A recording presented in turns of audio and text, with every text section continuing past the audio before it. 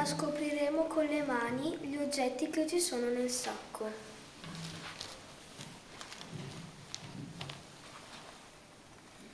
È liscio,